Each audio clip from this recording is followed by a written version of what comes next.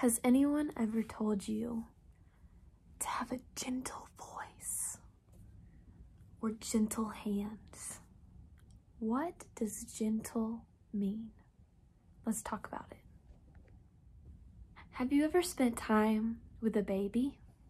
Like a really little, little, little baby. Um, if you have, you know they are fragile, right? Here's my baby. So when you hold a baby, you have to make them feel supported and safe, and you have to use gentle hands because the baby can get hurt, right? When you're holding a baby, do you ever see anyone do this? Ah! Have you ever seen anyone hold a baby like this? No, because the baby is fragile. The baby is small and this is a big word, vulnerable. The baby cannot take care of himself. So we need to use gentle hands when we're holding something fragile, um, like a baby or glass. Um, gentle hands. What are some other areas in our life um, that we can be gentle? Not just in holding um, a glass cup or holding a baby, um, but what are other ways that we can be gentle? What about with our words? Do you know how to be gentle with your words? Let me give you an example. If I go up to my friend and I say, hey, you look weird today. Is that gentle? Is that kind? No. Um, if I go up with my friend and I say, hey, I appreciate you. Um, is that gentle and kind? Yes. What about if one of my friends hurts my feelings. Has that ever happened to you? My friends have hurt my feelings a lot. Um, how do we respond to that? Do you say, well, if you think I'm mean, you're mean. Is that nice? No, that is not how we respond with gentleness.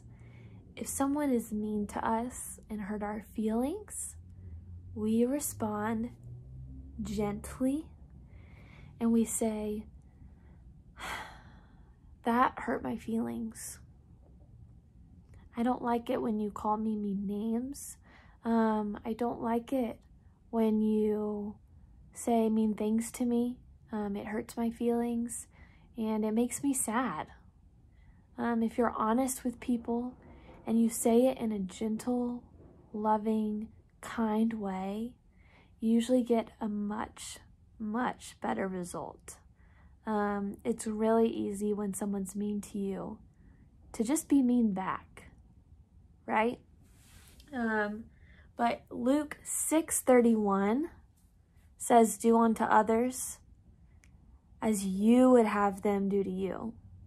So how do you want people to talk to you?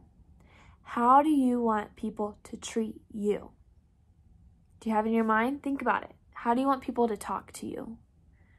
You want them to say nice words or mean words? Um, do you want people to hit you or give you a hug? Um, think about how you want people in your life to treat you. And that is how you should treat other people.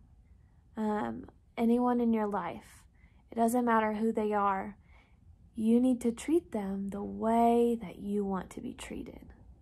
Um, and that is with gentleness and kindness and love, just like Jesus showed us when he was here.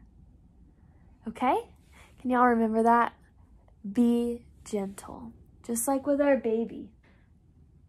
This is our baby Fred. And we're going to be gentle to Fred. Okay? Just like you need to be gentle with your friends. Don't forget about Fred, okay? Because he wants you to be gentle, just like God. God wants you to be gentle. And so does Fred. It's okay, Fred. Keep your head up. They're going to be gentle.